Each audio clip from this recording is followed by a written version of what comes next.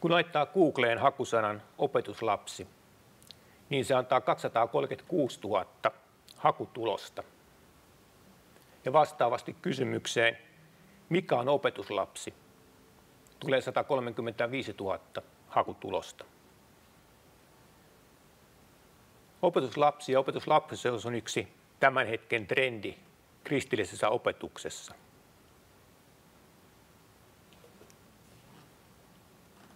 Löytyykö sitten opetuslapseuteen mitään uhkia? Vai onko se meille ainoastaan mahdollisuus toimia oikein? Uhka vai mahdollisuus? Tämä on illan luennon teema ja haluan valoittaa sitä aluksi seuraavan esimerkin kautta. Jumala antoi ihmiselle idean tulen tekemisestä. Entisaikaan tulta tehtiin hankaamalla kepillä toista keppiä tai kivellä heitettiin kiveen. Tuli oli tosi kätevä keksintö. Sitä käytettiin esimerkiksi ruoanlaitossa ja lämmittämisessä. Mutta Jumalan antama hyvä idea voi käyttää myös väärin. Tästä yhtenä esimerkkinä on Porvoon tuomiokirkko, joka sytytettiin palamaan yöllä 29. toukokuuta vuonna 2006.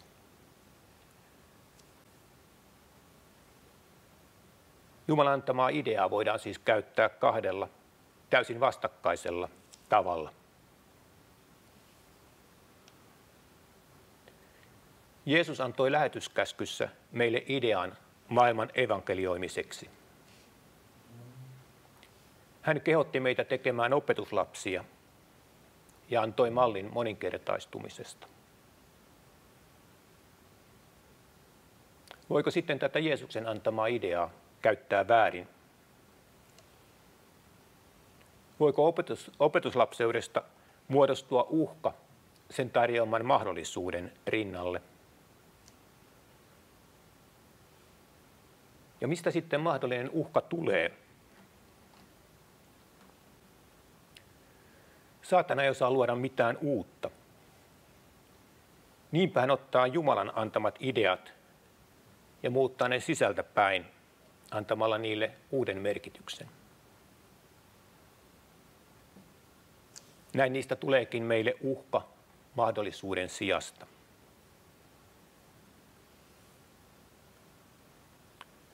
Pohditaan ensin opetuslapseuteen liittyviä mahdollisia uhkia. Ensimmäinen uhka tulee siitä, että lähetyskäskystä tulee meille ansio ja kadotamme armon. Uskon tulon jälkeen lähdin melko pian heti mukaan opetuslapsikoulutukseen joka pohjautui navigaattorien käyttämään metodiin. Tänään navigaattorisana tuo ensimmäisenä mieleen GPS-paikannuksen, jota pienikokoinen laite käyttää hyväkseen. Joten täsmennä, mistä on kysymys, kun puhun navigaattoreista. Navigaattorit on Dawson Trotman nimisen maalikon johdolla USAssa 1930-luvulla syntynyt tunnustusten välinen evankelioimista ja etenkin opetuslapsityötä tekevä järjestö. Trotman halusi auttaa kristittyjä, jotka uskoontulonsa jälkeen eivät olleet kasvaneet uskossa henkilökohtaisen opetuksen ja huolenpidon puutteessa. Trotman rukoilija tutki raamattua yhdessä muun muassa Les Spencer-nimisen merimiehen kanssa monia kuukausia. Trotman halusi opettaa hänelle kaiken, mitä hän itse tiesi Jeesuksesta. Spencer toi kerran uskosta kiinnostuneen ystävänsä hänen luokseen ja sanoi, opeta hänellekin, mitä olet opettanut minulle – Trotman vastasi, opeta sinä häntä. Tästä navigaattorityö sai alkunsa. Sain opetusta muun muassa raamatun tutkimisesta, aamulla hiljentymisestä, rukouksesta ja monista muista hyvistä asioista. Mutta vähitellen huomasin, että hyvä olo ei välttämättä tullutkaan siitä, että olisin kohdannut Jumalan armon, vaan siitä, että olin tehnyt tuon hyvän teon.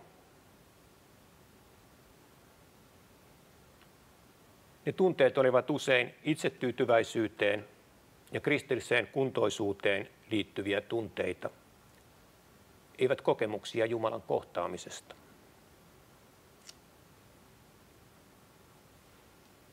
Eräs muistikuva vuosien takaa. Kokoonnumme joka viikko raamattupiirissä. Oli tärkeää löytää raamattupiirissä tutkitusta tekstistä sovellus, jonka voisi seuraavan viikon aikana tehdä. Olimme tutkineet todistamista ja siitä oli luonnollinen sovellus todistaa jollekin seuraavan viikon aikana. Viikon kuluttua kokoonnumme jälleen raamattupiiriin. Piirin alussa yksi sen jäsenistä kertoi minulle, että sovellus meinasi unohtua kokonaan. Mutta onneksi juuri ennen piiriin tuloa hän muisti sen ja ehti todistaa linja-autossa vieressään istuvalle vanhalle naiselle. Onneksi, sillä nyt oli hyvä aloittaa piiri, kun sovellus oli suoritettu.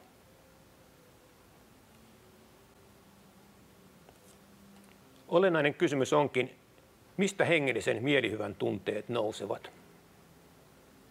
Mistä turvallisuuden tunteeni kristillisyydessä ovat kotoisin? Monet hyvät tunteet liittyvät suorittamiseen, eivät Jumalan armon kokemiseen.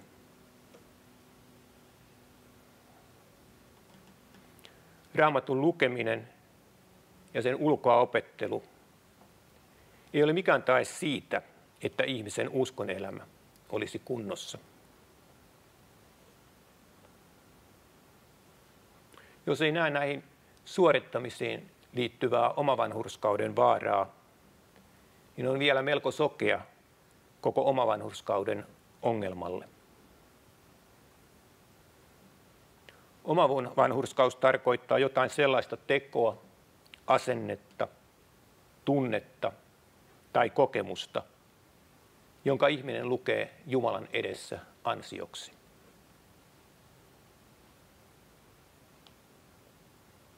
Juuri sillä, että luemme raamattua, rukoilemme ja niin edelleen, voimme välttää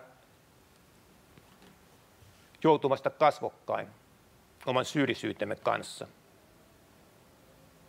ja sitten myös Jumalan armon avautuminen ja sen ymmärtäminen ei kirkastu meille.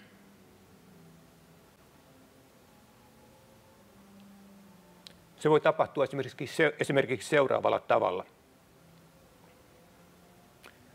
Aamulla herätessämme meidän mieleemme iskee ajatus aamuhiljentymisestä ja raamatun luvun tärkeydestä.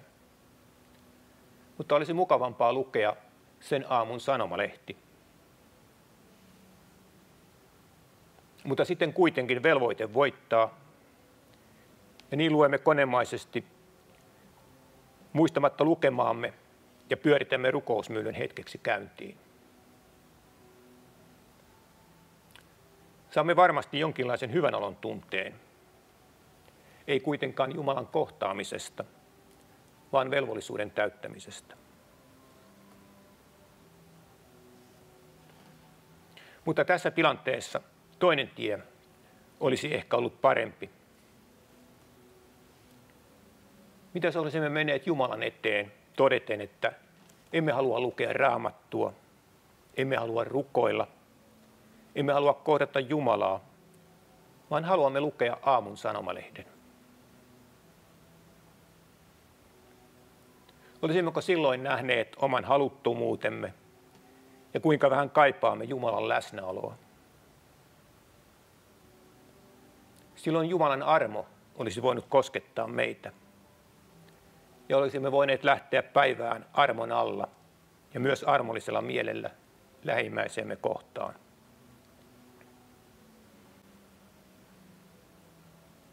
Kristityn turvallisuus ja pelastusvarmuus ei ole suorittamisessa, ei jonkun asian täyttämisessä, vaan ainoastaan ristillä synnit sovittaneessa vapahtajassa. Olen kiitollinen siitä, että nuorena kristittynä kävin myös Joutjärven seurakunnan nuorten illoissa, jossa armo korostui raamatun opetuksessa. Se toi oikean tasapainon ja näkemyksen opetuslapsityöhön.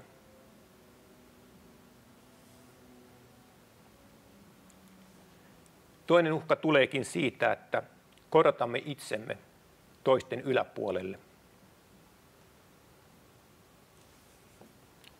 Opetuslapseudessa suorittamisesta nousevat tunteet voivat muodostua uskon pahimmaksi viholliseksi. Jos kristillisyytemme on vain näiden suoritusten tuottamia tunteita, niin se johtaa helposti myös armottomaan asennoitumiseen niitä kohtaan, jotka eivät samaa kristillisyyden muotoa kykene täyttämään. Johannes sanoi Jeesukselle, opettaja, me näimme erään miehen, joka ei seuraa meitä. Sinun nimessäsi, sinun nimessäsi ajavan ulos riivaajia. Ja me kielsimme häntä, koska hän ei seurannut meitä. Mutta Jeesus sanoi, älkää häntä kieltäkö, sillä ei kukaan, joka tekee voimallisen teon minun nimeeni, voi kohta sen jälkeen puhua minusta pahaa. Sillä joka ei ole meitä vastaan, on meidän puolellamme. Aivan kuin Johannes olisi sanonut, että Herra, vain me olemme sinun opetuslapsiasi, mutta ne muut, ei, ei. Hänen kapeakatseisuutensa esti häntä näkemästä, että Jeesuksella oli seuraajia myös hänen tiivisti seuranneen ydinporukan ulkopuolella.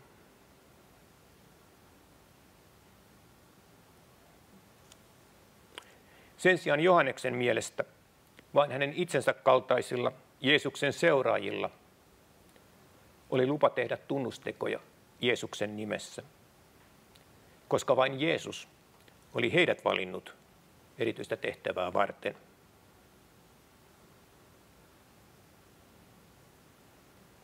Jos ajattelemme, että vain me olemme ymmärtäneet lähetyskäskyn ja antautuneet opetuslapsi näylle, niin silloin hajoitamme kristittyjen yhteyttä ikävällä tavalla.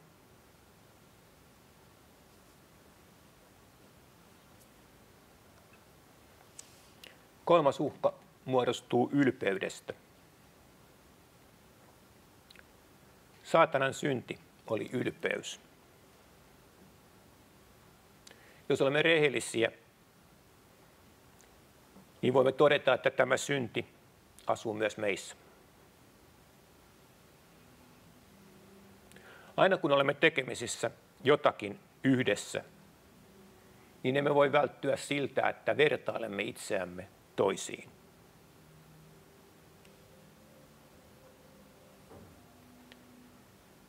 Juuri ennen kuin opetuslapset kiesivät miestä ajamasta ulos riivaajia, he olivat väitelleet siitä, kuka heistä on suurin. Perustelut tällaiselle ajatukselle löytyvät väärästä minäkuvasta.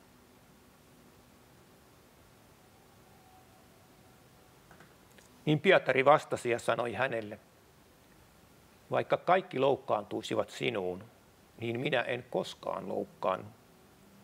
Jeesus sanoi hänelle, totisesti minä sanon sinulle, tänä yönä ennen kuin kukko laulaa, sinä kolmasti minut kiellät.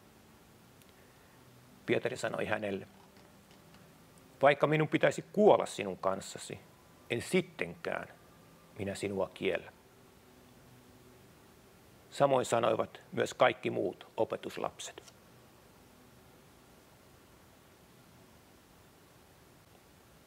Väärä minäkuva vääristää myös sen, kuinka riippuvainen olen kaikessa Jumalasta.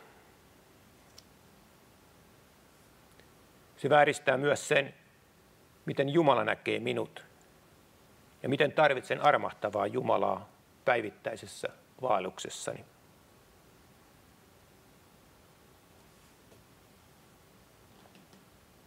Kaksi miestä meni ylös pyhäkköön rukoilemaan, toinen fariseus ja toinen publikaani. Fariseus seisoi ja rukoili itsekseen näin.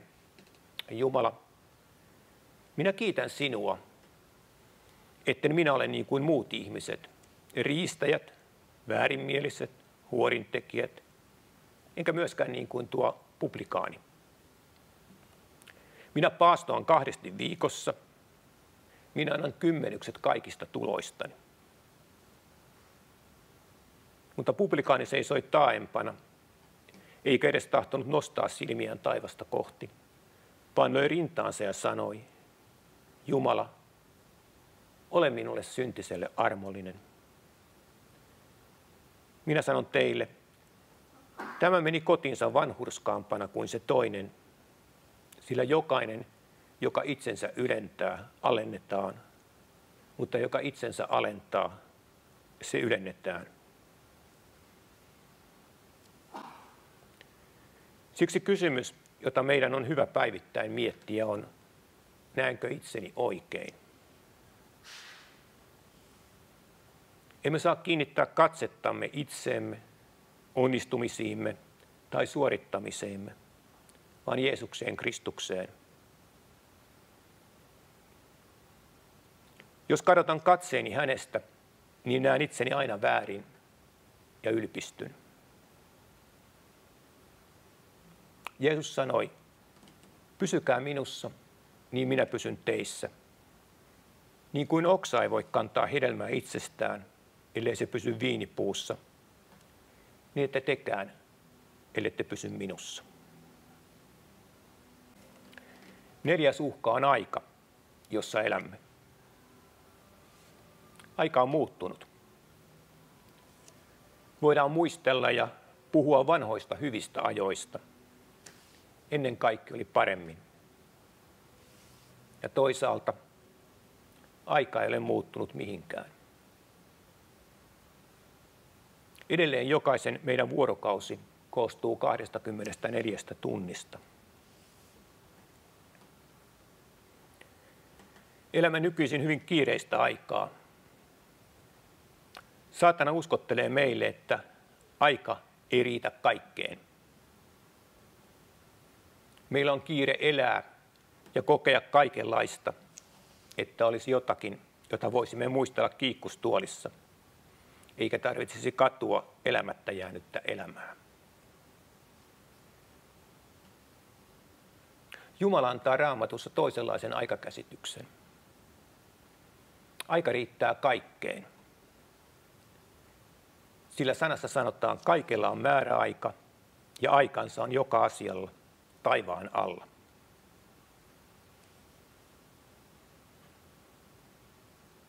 Raha-automaatti yhdistyksen tekemässä tutkimuksissa ihmisiltä kysyttiin, kuinka monta tuntia kuukaudessa he olisivat valmiit tekemään vapaaehtoistyötä. Vastaajat jakautuvat melko tasaisesti neljään lohkoon. Ensin ei kiinnosta, 1-2 tuntia, 3-6 tuntia ja yli 6 tuntia. Tutkimuksesta voi nähdä, että vaikka monet tekevät vapaaehtoistyötä jopa 10 tuntia kuussa, niin suurin osa ihmisistä on valmis tekemään sitä vain ehkä yhden illan viikossa. Elämme siis kiireistä aikaa. Satana nostaa esiin paljon hyviä asioita ja velvollisuuksia – mitä meidän pitäisi tehdä. Hän saa meidät uskomaan, että myös Jumalalle antamamme aika on rajallista.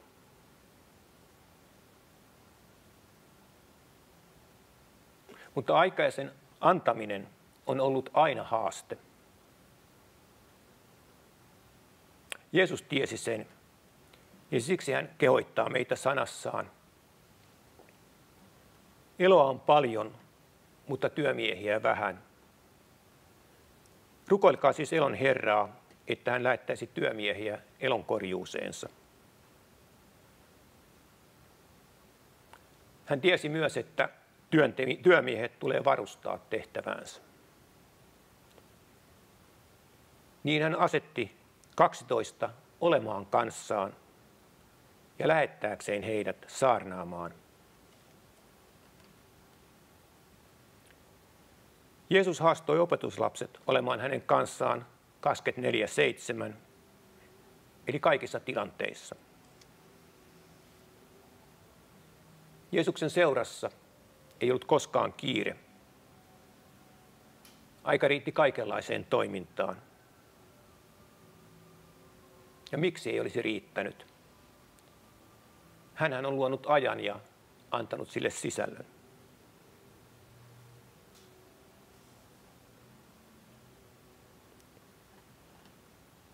Ehkä ratkaisu aikaongelmaan löytyisi uudesta identiteetistä. Erään seurakunnan aktiivijäsen oli myös menestyvä huonekalukauppias ja tunnettu hyvästä ammattitaidostaan, jolla hän sai yrityksiä kukoistamaan. Kuitenkaan hän ei pitänyt itseään menestyvänä liikemiehenä, vaan sanoi, että hän on Jeesuksen opetuslapsi, joka on naamioitunut huonekalukauppiaaksi. Sen pohjalta hän rakensi myös oman identiteettinsä ja ajankäyttönsä.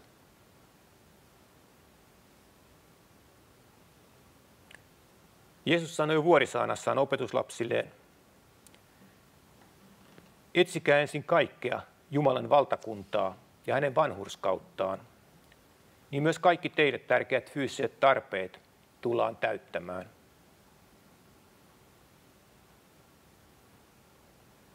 Se on lupaus, jonka me voimme testata ja nähdä todeksi.